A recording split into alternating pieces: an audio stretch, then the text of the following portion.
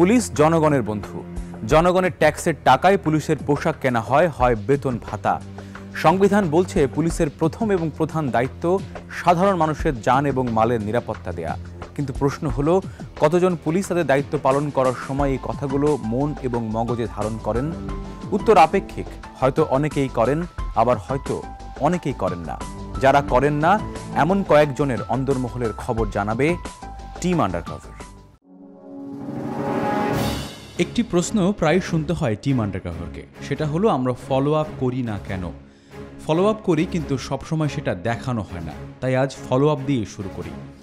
এই ছবিগুলোর কথা নিশ্চয়ই নিয়মিত দর্শকদের মনে আছে। না থাকলে একটু মনে করাই। পুলিশ, বন্ধু তুমি, শত্রু তুমি, এই অনুসন্ধানে আদাবর থানার দুই এসআই ঘুষ লেনদেনের ছবি দেখানো হয়েছিল। যাদের নাম এসআই ফোরকান ও বদরুদ্দোজা। তারা ইয়াবাসহ হাতে নাতে ধরা পড়া একজনকে পাঁচ হাজার টাকার বিনিময়ে ছেড়ে দিয়েছিল। সংবাদ প্রচারের দশ দিন পর আদাবর থানামুখী টিম আন্ডারকভার প্রথমেই আদাবর থানার ভারপ্রাপ্ত কর্মকর্তা শেখ শাহিনুর রহমানের সাথে তার অফিসিয়াল মোবাইল নাম্বারে যোগাযোগের চেষ্টা, কিন্তু বহুবার ফোন করেও তাকে পাওয়া গেল না প্রাথমিকভাবে। তাই এবার সশরীরে থানায়। থানায় প্রবেশের মুখেই পুলিশের একজন সদস্যের কাছ থেকে জানতে পারলাম, ওসি সাহেব এই মুহূর্তে থানায় নেই। তাই ওসি তদন্ত মোহাম্মদ আমিনুল ইসলামের দ্বারস্থ হওয়া। দিনক্ষণ উল্লেখ করে তার কাছে ঘটনা উপস্থাপন করা হলো। কিন্তু তিনি এই ধরনের সংবাদের কথা জানেন না বলেই জানান। নিউজ তো অনেকই হয় সব দেখা হয় না। আপনারা এই- এই না বিষয় আমি জানি না স্যার জানে না। এই সূত্রে আপনাদেরকে আরেকটি তথ্য দেই। পুলিশ মানে আদাবর থানা পুলিশ খুব ভালোভাবেই এই সংবাদ জানেন নিউজটাও দেখেছেন। তার প্রমাণ হলো যেসব রিক্সা চালক টিম আন্ডারকভারের কাছে মুখ খুলেছিল। তারা এখন দৌড়ের ওপর। দেখানো হচ্ছে ভয়ভীতি। পুলিশের সেই এসআই দয়ের ভয়ে তারা এলাকা ছাড়া। তার মানে কি দাঁড়াল? থানা তেমন কোনো ব্যবস্থা নেন না। যা নেবার একটু আধটু পুলিশ হেডকোয়ার্টারই নেন। যদি তারা খবর পান, তবে। ফলো আপ শেষ। এবার নতুন অনুসন্ধানে মনোযোগ। গন্তব্য রাজধানীর উত্তরখান। মানিক মিয়া, পেশায় ব্যবসায়ী পরিবার সহ থাকেন রাজধানীর উত্তরখান, চানপাড়া, কাজীবাড়ি এলাকায়। গত সাতাশ অক্টোবর ছিল তার জীবনের কালরাত। তার ভাষায় মৃত্যুকে খুব কাছ থেকে দেখেছেন তিনি। আমি রাস্তা দিয়ে যাচ্ছিলাম বাজারের দিকে। তো হঠাৎ করে একটা মাইক্রো এসে থামে, থাইমা, আমার নাম ধরে ডাক দিয়ে হ্যাঁ আমাকে আইসা কোমর ধরে হ্যাঁ যে আমরা ডিবির লোক, কোনো কথা বলবি না, গাড়িতে আমাকে উঠায় নেয়, উঠায় আমাকে ভিতরে অনেক নির্যাতন করে, এক পর্যায়ে আমাকে উত্তরা নিয়ে যায় ওয়াইফকে ফোন দিতে বলে ফোন দিতে বলে যে টাকা নিয়ে আসতে বল তার ওয়াইফকে ঠিক আছে? দুই লক্ষ টাকা। তারপরে এক লক্ষ পঁচিশ হাজার টাকা নিয়ে যায়। নিয়ে যাওয়ার পরে আমাকে ছাড়ে। সাদা পোশাকে পুলিশের কালো কাজের অভিযোগ পুরনো এই ঘটনার পর মানিক মিয়া চার নভেম্বর পুলিশের মহাপরিদর্শক বরাবর বিচার চেয়ে একটি আবেদন করেন। তার ওই আবেদনের ফলে বিষয়টি তদন্তের ভার পড়ে উত্তরখান থানার এসআই আশিকের ওপর। তিনি তার অভিযোগপত্রে যে ব্যক্তির নাম উল্লেখ করেছেন তার নাম মনিরুজ্জামান। কেননা এই নামটি সেদিনের সাদা পোশাক পরা লোকরা বলেছিল তাকে। কিন্তু পরে তার বিবরণের সাথে যে গোয়েন্দা পুলিশের বিবরণ মিলে যায়, তার নাম লোকমান হাকিম। আমি তো অভিযোগটা মনিরুজ্জামানের নামেই করছি। তো যখন স্যার ওই দুইটা টিম ডাকে, পাঁচজন পাঁচজন করে ভিতরে, যে এখানে আছে কিনা দেখেন। হ্যাঁ প্রথম পাঁচজন আমি বললাম যে না, এখানে নেই। পরে আবার পাঁচজন ডাকে। তারপরে ওখানে মনিরুজ্জামান আছে কিন্তু উনি না। আমি যে বিবরণটা দিছি উনিও ওই ক্রাইম সিনেই আছে ঠিক আছে? কিন্তু ওনার নামটা তো আমি সিরিয়াস ক্রাইমে আছে হ্যাঁ কিন্তু উনি হাজির হয় নাই। ওনারা উনি ছুটিতে থাকে। ছুটিতে থাকে দক্ষিণখান বাড়ি হুম ওনাকে পাইছি। যে আমাকে ধরছিল মেন ইনচার্জ ওনার নাম হইল লোকমান হাকিম। তিন বছর সাড়ে তিন বছর আগে উনি এখান থেকে ডিবিতে গেছেন। টিম আন্ডারকভারও লোকমান হাকিমের চেহারা চিনতে চায়, তাই তার ছবি খুঁজতে নেমে পড়া। সহজ মাধ্যম হিসাবে সামাজিক যোগাযোগ মাধ্যম ফেসবুকে তাকে খোঁজা, অবশেষে খুঁজে পাওয়া। চার দিন পর টিম আন্ডারকভার আবারও ব্যবসায়ী মানিক মিয়ার কাছে। চমকে দেওয়ার মতো তথ্য আসে সেদিন। জানা যায়, গত চব্বিশ ডিসেম্বর রাতে গোয়েন্দা পুলিশের ইন্সপেক্টর লোকমান হাকিম তার দুই পুলিশ সদস্য নিয়ে সাদা পোশাকে ব্যবসায়ী মানিক মিয়ার কাছ থেকে নেয়া টাকা ফেরত দিতে আসেন। তিনজন পুলিশ আসছে, তোমার কাছে টাকা টুকা কী করছে, এটা ফেরত দেওয়ার জন্য। তো আমি ওই দিন রাত্রে সাতটা, সাড়ে সাতটা আমি আর ভয়ে যাইনি। ওই তিনজনের ভিতরে আপনার লোকমান হেকিম ছিল, আসছে, আর মিশু মিদুল, যে আমাকে ধরছিল সেই দিন, গাড়িতে উঠাইছে, অত্যাচার করছে, মারছে। টাকা পয়সা নিচ্ছে কল রেকর্ড সবর ও আসছিল। আরেকজন আসছিল ওকে শনাক্ত করতে পারিনি। তার কাছ থেকে এই কথা জেনে আমাদের মনে আরেকটি প্রশ্ন জাগে। দুই মাস সময় পেরিয়ে গেলেও উত্তরখান থানা তদন্ত কর্মকর্তা আশিক আসলে কি করছেন তাই তাকে ফোন করা। কিন্তু আশিকের সাথে কথা বলে যা বোঝা গেল তাতে মনে হচ্ছে তিনি এখন পর্যন্ত তদন্ত শুরুই করেননি। ওয়ালাইকুম সালাম সালাম আলাইকুম আশিক ভাই। আমি এই যে উত্তরখান থেকে এই যে সীমাপা বলতেছিলাম কত দূর কি করলেন? কিছু আমি কীভাবে আমি যতদূর আমার মতো করে আমি আগেই দিয়েছি আমি চেষ্টা করতেছি। এখন এটা তো নাই নাই কোনো কিছু। আমি গাড়ি দেওয়ার জন্য সমস্ত কিছু দিয়ে দিচ্ছি গাড়ির নাম্বারের জন্য। ওটার প্রতিবেদন এখনও আসে নাই। দেখি দেড় কিলোমিটারের প্রতিবেদন যদি আনতে পারি প্রতিবেদন একটা দেখি। কারণ আপনাদের একটা প্রশ্ন চলতেছিল যে Monir sir Monir sir Monir sir এখানে। আপনারা জীবিতে গেছেন নিয়ে গেছেন আমি সব খোঁজখবর রাখতেছি তো। তা ডিবিতে তো আমরা গেছি গেছি সন্দেহজনক যার কথা বলছে আপনারা কি সন্দেহ কেউ কিছু বল পাইছেন কিছু পাইছেন? সন্দেহজনক কাউকে? সন্দেহজনক আমি কার কথা বলব বলেন? পুলিশের তদন্ত না এগুলেও টিম আন্ডারগাভার কিন্তু থেমে নেই। গত চব্বিশ ডিসেম্বর রাতে যে ব্যবসায়ী মানিক মিয়াকে টাকা ফেরত দিতে এসেছিলেন তা জানতে আমরা যাই সেদিনের প্রত্যক্ষদর্শী বকুলের কাছে। আমরা লোকমান হাকিমের ছবিটি তাকে দেখাই এবং বকুল তাকে শনাক্ত করতে পারেন। এ ছিল মানে এই যে লোকমান হেকিম। নাম তো আর হ্যাঁ করতে পারব না। মানে এই দুজনই আইছিল। এই লোক এই লোকটাও ছিল না? তিনজন আসছিল। মানে বয়স্ক লোকটা? তখন হ্যাঁ রাগায় আসলো। রাগায় আসলো পরে বলল যে এই ঘটনা? একটু আপোষ হইতে চাই। তো উনি কি টাকা ফেরত দিতে আসছিল? হ্যাঁ ফেরত দিয়ে আপোষ হইতে চাইছিল। বকুল মিয়ার কথার মাধ্যমে আমরা অনেকটাই নিশ্চিত হই যে লোকমান হাকিমই সেদিন টাকার জন্য ব্যবসায়ী মানিক মিয়াকে উঠিয়ে নেয়ার মূল হোতা। টিম আন্ডারকভার সেদিন বিকেলেই উত্তরার উদয়ন স্কুলের সামনে পুলিশের গোয়েন্দা শাখার ইন্সপেক্টর লোকমান হাকিমের বাসাটি খুঁজে বের করতে ব্যস্ত হয়ে পড়ে। বিশাল বহুতল একটি বাসা এখনও তৈরি করছেন ইন্সপেক্টর লোকমান হাকিম। আগে হ্যাঁ হ্যাঁ হ্যাঁ হ্যাঁ হ্যাঁ হ্যাঁ ছিল বর্তমানে কিন্তু নাই। বর্তমানে নাই। ঠিক আছে? আপনি এই রোড দিয়ে সামনে দিয়ে আগে হয়ে যাবেন। আচ্ছা। এই রোড দিয়ে আগে হয়ে গিয়ে একটা কালভার্ট বাজবে। কালভার্টের পরে জিজ্ঞেস করবেন যে ভাই বেশ কিছুক্ষণ অপেক্ষার পর কথা হয় ওই বাড়ির কেয়ারটেকারের সাথে। তার কাছ থেকেই পুরোপুরি নিশ্চিত হওয়া গেল এই বিশাল বাড়িটি ইন্সপেক্টর লোকমানেরই। লোকমান কাকার বাসা কি এটা? জি। কাকা আছে বাসা? আহ, কথা ছিল? কখন আসতে পারবে? কথা বলো। ঠিক একদিন পর ব্যবসায়ী মানিক মিয়াকে নিয়ে টিম আন্ডারকভার উত্তরখান থানায় উদ্দেশ্য দুটি। এক, মানিক মিয়ার অভিযোগের কীভাবে সুরাহা করা হচ্ছে তা জানা এবং দুই, এসআই আশিকের তদন্তের গাফলতি সম্পর্কে ওসিকে জানানো। ওসি সাহেবের কথাবার্তায় কোনো আন্তরিকতার ঘাটতি নেই। তাহলে এতদিনেও তদন্ত এগোয়নি কেন? ওসি হেলাল উদ্দিন, তদন্ত অফিসার আশিককে ফোন করেও জানালেন তা তদন্তে গাফলতির কথা। আপনি ভালো তো অনুসন্ধান করেন না। এটা অনেক দূর আগাইছে। এবং এই তথ্য তো আমি আরও পনেরো বিশ দিন আগে পাইছি, জানি। মনিরের সাথে আমার যোগাযোগ হয়েছে। মনিরের নাম ইউজ করছে দেখিয়া মনিরের কথা তারা লেখছে।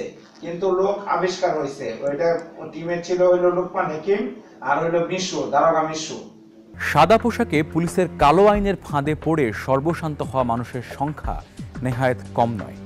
কিন্তু প্রশ্ন হলো, যেখানে পুলিশ দু মাসেও অনুসন্ধান করে কোনো অপরাধীকে খুঁজে পায় না ঠিক একই বাস্তবতায় দাঁড়িয়ে টিম আন্ডারকাভার সেগুলোকে সাত দিনে কীভাবে খুঁজে পায়? সে যাই হোক, এবার প্রসঙ্গ বদল। জানাব ডিআইজি মিজানুর রহমান এবং ইকোর গল্পের নতুন মোড়ের অনুসন্ধান। সাম্প্রতিক সময়ে আলোচিত নাম ডিআইজি মিজানুর রহমান। মরিয়ম আক্তার ইকোকে উঠিয়ে নিয়ে গিয়ে জোর করে বিয়ে করা ও পরবর্তীতে ভরণ পোষণ না দেয়া সহ নানান কারণে গণমাধ্যমে শিরোনাম তিনি।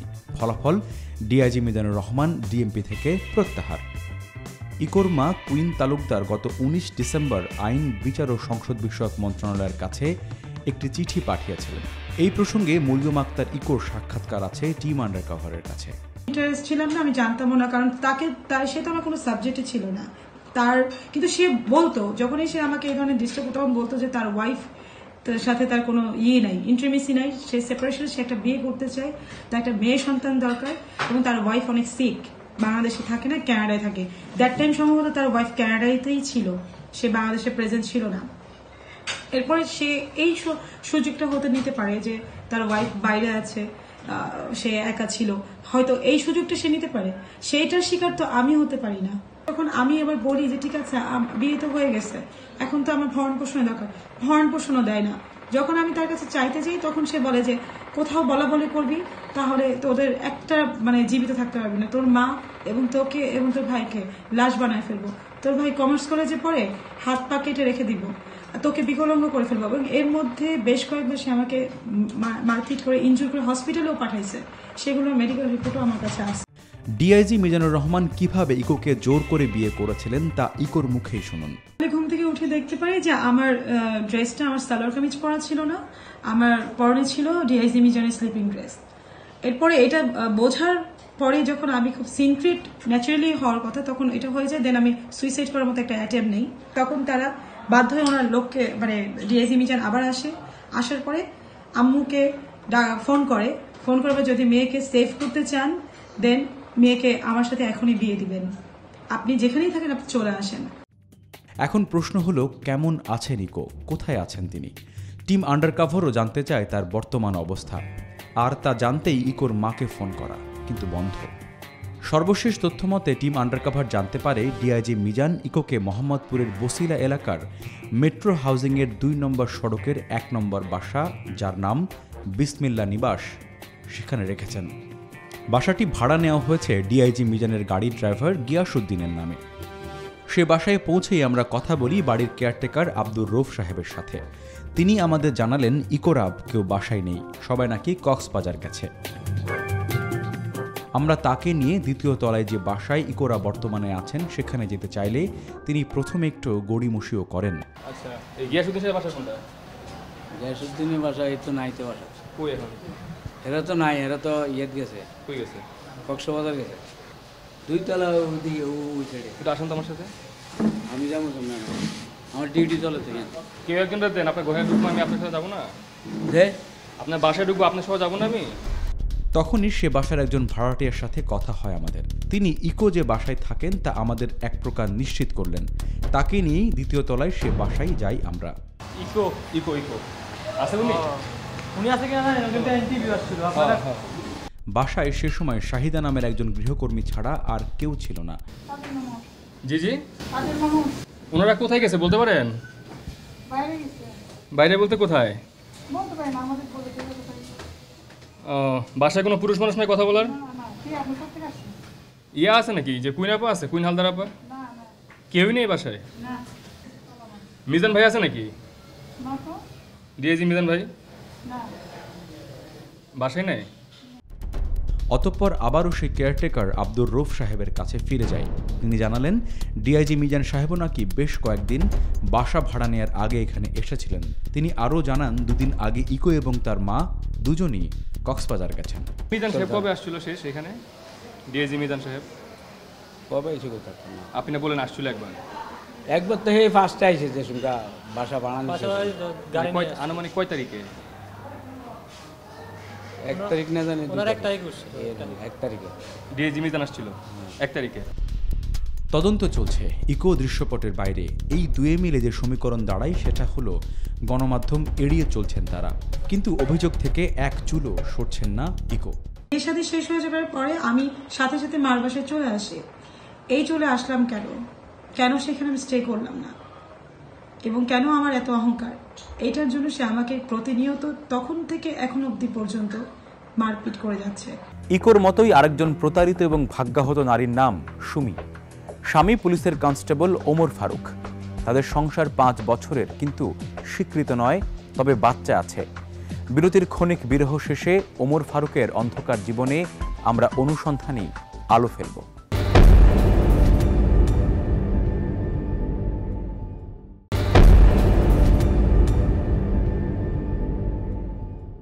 অপরাধ বিজ্ঞানীদের বিশ্লেষণ বলছে শতকরা দশটি অভিযোগের মধ্যে পুলিশ একটি অভিযোগ আমলে নিয়ে অনুসন্ধান করে। তারই জ্বলন্ত উদাহরণ সুমির গল্প।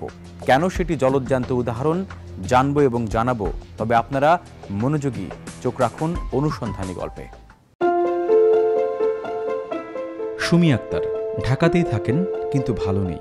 আমার হাজব্যান্ড পুলিশ কনস্টেবল সরকারি চাকরি করে কনস্টেবল তাকে আমি জিজ্ঞাসাও করি যে, আপনার বউ বাচ্চা আছে না বাড়িতে? কয়, না, আমার বউ বাচ্চা নেই, আমার বউ বাচ্চা চলে গেছে। তারপর আমি যাচাই করতে চাইছিলাম সে আমাকে যাচাই করার সুযোগ দেয়নি। তো বলছে, আমি যদি তোমাকে পাঁচটা দিয়ে রাখতে পারি, তুমি যাচাই করার তো কোনো দরকার নেই। সেই কারণে ও আমাকে মুখ দেয়, বাসা ভাড়া নিয়ে দেয়, নিয়ে দেওয়ার পরে ওইখানে একটা হুজুর ডাইকে আনে ডাইকে আনে আমার সাথে মানে আমাদের মুসলিম ধর্মে যেভাবে বিয়ে হয় সেইভাবেই তার সাথে আমার বিয়ে হয়েছে। বিয়ে হওয়ার পরে এইভাবেই আমরা এই পাঁচটা বছর এই মুগ্ধ এলাকায় থাকি। এখন বলতেছে, ও আমাকে চিনেই না। তা আমি একটা নারী, আমি নারী হয়ে কী করব? এখানে অনেক মানুষ আমার কাছে টাকা পয়সা পাবো, ঘর ভাড়া। আমি কীভাবে খাই? বাচ্চার দুধ কেনা লাগে সব কিছুই কেনা লাগে। ও আমার অসহায় মানে রেখে গেছে। ও আমার খবর নেয় না এখনও পর্যন্ত। যদিও সুমি আক্তারের কাছে তাদের বিয়ের কোনো কাবিন নামা নেই, কিন্তু বিভিন্ন স্বাস্থ্যগত চিকিৎসায় প্রায় সব কাগজেই স্বামী হিসাবে রয়েছে পুলিশ কনস্টেবল ওমর ফারুকের নাম। তার বাচ্চা আবদুল্লার চিকিৎসার বিভিন্ন ডকুমেন্টেও বাবা হিসেবে রয়েছে এই ওমর ফারুকের নাম। কিন্তু তিনি বর্তমানে তাদের স্বামী স্ত্রীর সম্পর্ক স্বীকার করছেন না।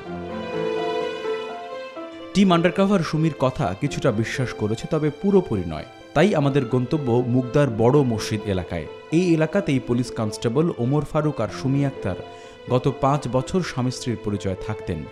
সে এলাকার যে বাসায় তারা থাকতেন তাদের কাছে জানতে চাই তাদের বিয়ের সম্পর্কে। প্রথমে কিছুটা ভয় পান এলাকাবাসী। পুলিশ মানুষ। আমাদের কি জন্য আপনারা জামালা পেঁচা দিতে তবে পরে মুখ খোলেন অনেকেই। এখানে ভাড়া থাকতো। আচ্ছা কি হিসেবে থাকতো ভাড়া এখানে? ভাড়া হিসাবে থাকতো? না না কি পরিচয়ে থাকতো জানেন? স্বামী স্ত্রী। স্বামী স্ত্রী। কতদিন ছিল এখানে? দুই তিন বছর ছিল দুই তিন বছর। এরপর আমরা যাই সুমি আক্তারের বর্তমান বাসায়। কথা হয় সে বাসার মালিকের সাথেও। তিনিও ক্যামেরার সামনে কিছু বলতে রাজি হচ্ছেন না কিন্তু কৌশলে আমরা তার কাছ থেকে সুমি আক্তার আর ওমর ফারুকের স্বামী স্ত্রীর পরিচয়ের বিষয়টি নিশ্চিত হতে পারি। বাড়ির মালিকও জানালেন ওমর ফারুক বর্তমানে সুমি আক্তার এবং তার সন্তানকে স্বীকৃতি দিতে যাচ্ছেন না। ওনারা যে হাজব্যান্ড ওয়াইফ ছিলেন এটা তো কনফার্ম কিন্তু বর্তমানে তো বোধহয় আর একসাথে থাকেন। ঝগড়াঝাটি করে যে গেছে গা মাইট দূর করে অনেক ঝগড়াঝাটি হয়েছে আর আর হাজবেন্ড আসে না। আসে না। করতেছে। এবার টিম আন্ডারকভার নিশ্চিত যে ওমর ফারুক এবং সুমি আক্তার স্বামী স্ত্রী ছিলেন তাই তাকে এবার খোঁজার পালা। মোহাম্মদ ওমর ফারুকের পুলিশ আইডি নাম্বার বিপি পঁচাশি শূন্য চার শূন্য দুই তিন তিন ছয় ছয়। তিনি সর্বশেষ কাজ করতেন সেগুন বাগিচা এলাকার এনএসআই হেডকোয়ার্টারে সুমি আক্তারকে সঙ্গে নিয়ে টিম আন্ডারকভারের সদস্যরা চলেছেন এনএসআই হেডকোয়ার্টারের দিকে। সেখানে গিয়ে আমাদের কথা হয় ওমর ফারুকের কয়েকজন সহকর্মীর সাথে। তারা জানালেন ওমর ফারুক বদলি হয়ে গেছেন বরিশালে।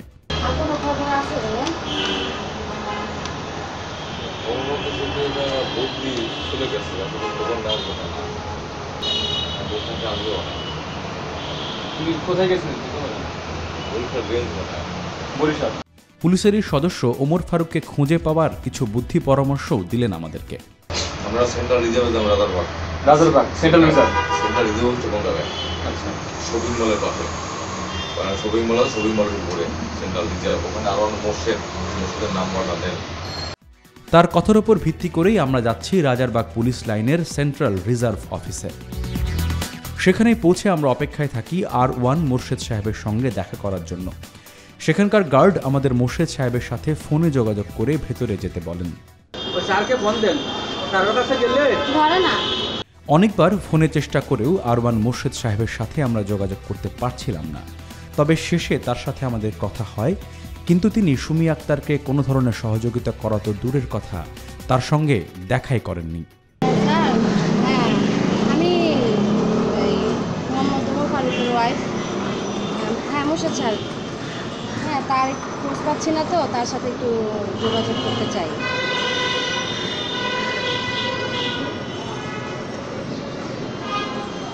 আপনি কি আমার সাথে দেখা করবেন না? আর এভাবেই একজন সুমি আক্তার তার ছোট্ট শিশুটিকে নিয়ে এক অনিশ্চিত জীবনের দিকে এগিয়ে যাচ্ছেন, যেখানে তার স্বামী থেকেও নেই নেই কোনো বিবাহের নিকানামা। বোকা মেয়ের প্রমাণ হিসাবে আছে শুধু আবদুল্লাহ। বাচ্চা ওরা কিচ্ছু বোঝে না।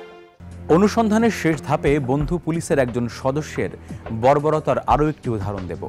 যিনি একজন নারীকে বন্দি করে অনৈতিকভাবে ভোগ করছেন বছরের পর বছর। এবার সেই বন্দিত্ব থেকে মুক্তির স্বপ্ন দেখতে দেখতে ক্লান্ত হয়ে যাওয়া নারীর জীবনযুদ্ধের বাকি গল্প। আসমা যার স্বামী কারাগারে তাকে জেল থেকে ছাড়ানোর জন্য ডিবি পুলিশের একজন সদস্য তরিকুলের সাথে তার পরিচয় হয়। কিন্তু আসমার ভাষ্য মতে এটাই তার জীবনের কাল হলো। তরিকুল ইসলাম রানা সে পুলিশের একজন তারপরে পুলিশের কি ডিপিতে চাকরি করে। পরিচয় করে এই জন্য উনি একজন ভালো মানুষ আইনের মানুষ আর কি।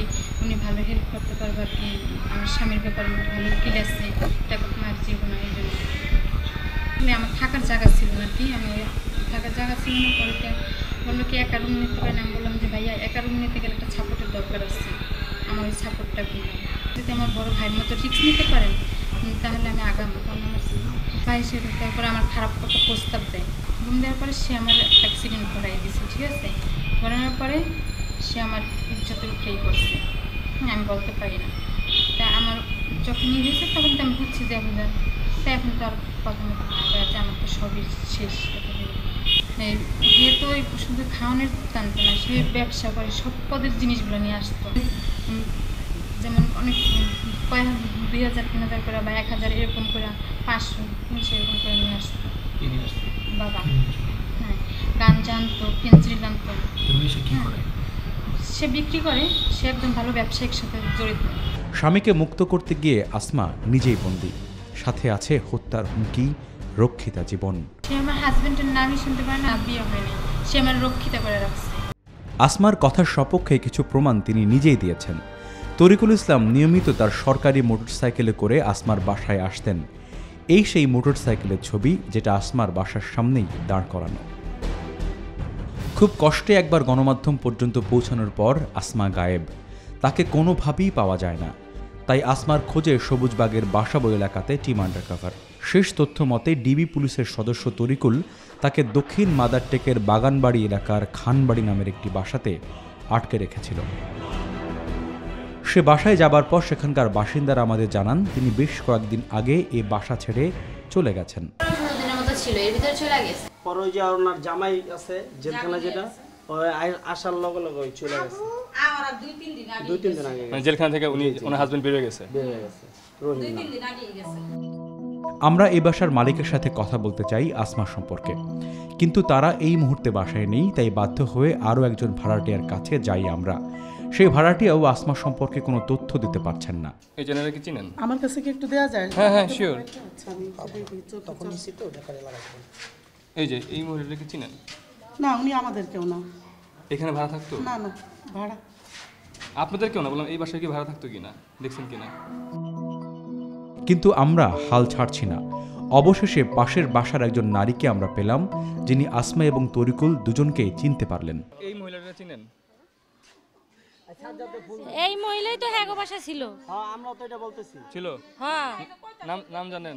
আর আপা এই লোকটারে কি দেখ দেন তো? এই হেরা জানে। হ্যাঁ আত্মীয় না? আপা এই লোকটারে চিনেন কিনা দেন তো আপা? এই লোকটারে? এই বেড়ে না কতদিন দেখলাম হুন্ডে লই আইতে। দেখছেন? আর মাল জিনিস দিনে নিছে মাল জিনিস হে দিন ওই বেটারে দেখছি। তাই? যেদিন যেদিন বাসা ছাড়ছে সেদিন যে দেখছেন মাল জিনিস সেদিন ওই বেটারে দেখছি বুঝছেন? ওনার সাথে বাসা বাসা বলে হুন্ডে লই হে বেটা আইছে আমরা আসমাকে এ বাসায় খুঁজে পাইনি। প্রতিবেশীদের তথ্য মতে তরিকুলই তাকে এলাকা থেকে নিয়ে গেছেন। আসমা আমাদের সাথে অনেক কষ্টে যোগাযোগ করতে পেরেছিলেন। টিম আন্ডার কাভারও চেয়েছিল তাকে মুক্ত করতে। কিন্তু ধূর্ত তরিকুল আসমাকে আবারও কোনো অজানা আস্তানায় লুকিয়ে রেখেছেন। তখন বারবার টিম আন্ডারকভারকে জানানো আসমার কথাগুলো মনে হচ্ছিল। অনুসন্ধানী সাংবাদিকতা সবসময় সফলতার মুখ দেখে না, কারণ এই সাংবাদিকতা গৌরবময়, অনিশ্চয়তার। এই কথাগুলোকে মনে রেখে আমরা আসমাকে তরিকুলের কারাগার থেকে মুক্ত করতে না পারার ব্যর্থতা ঢাকার চেষ্টা করছি। সেই সঙ্গে বারবার ভাবছি সেবক পুলিশের এই প্রভুর মতো আচরণ কেন? কোথায় গলদ? কার ব্যর্থতা? জানব এবং জানাব টিম আন্ডারকভার লাইভে